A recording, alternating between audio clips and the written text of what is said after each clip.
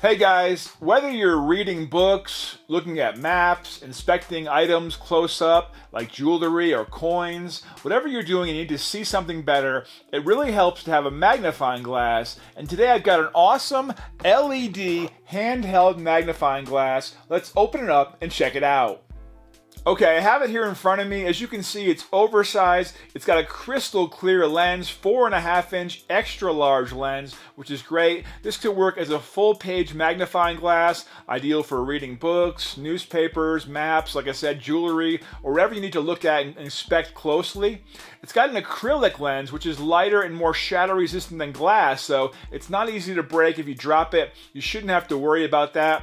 And the cool thing is, it has four ultra bright and long lasting LED lights right here with adjustable light settings, one and two.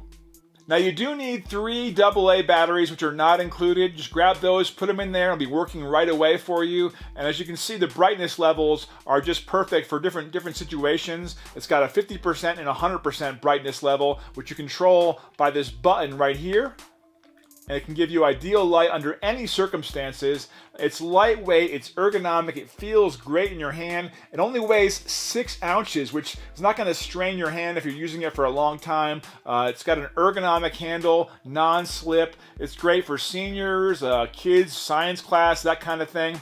It's also a must-have for researchers, professionals, anybody with low vision that needs help. This is a great LED magnifying glass. I highly recommend it. Get yourself one. You are going to be glad you did.